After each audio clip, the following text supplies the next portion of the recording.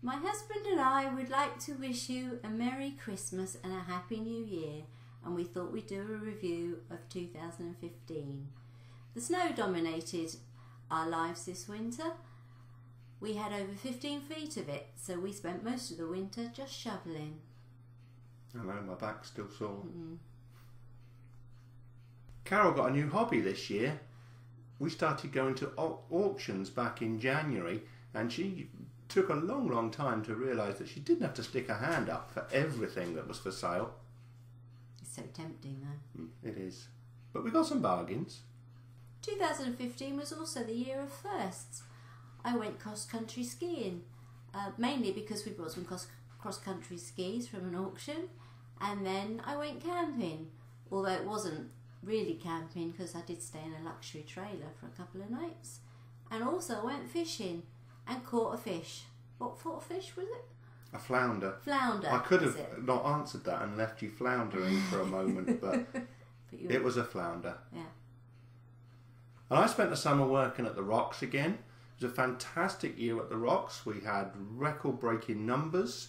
Um, we had all sorts of fun and games and excitement with coach loads of Chinese people fighting their way up and down the stairs and taking photographs every other step. It was great fun.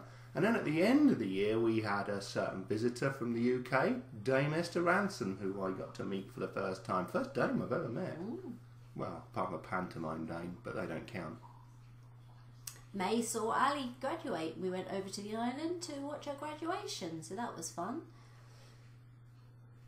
And then in June, we had the excitement of Moncton being the centre of the, the focus for the world of sport as the Women's World Cup was played in, well, not just Moncton, but in Canada. And Moncton was one of the host cities. And Ali and I went to see England play France, which was tremendously exciting. Great performance by the England ladies, I thought. I thought it was very, very nice to see an England team play with a bit of pride and a bit of passion and a bit of belief.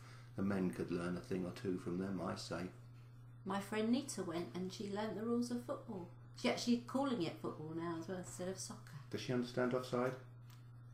Probably better than I do, but uh, anyway, we um, had a few days away on the on the island, uh, which was very nice, and we did a tour of a microbrewery, We did. which Paul enjoyed. I did. Also, um, back in October, I went back to the UK and caught up with uh, a few people. So I hope you enjoyed our very quick run through of the exciting things that we've had here in the Harris household in 2015, and it just just leaves me to say on behalf of Carol, myself, and Ali and Darcy, we wish you all a very very merry Christmas, and uh, we hope you have a healthy, happy, and prosperous 2016.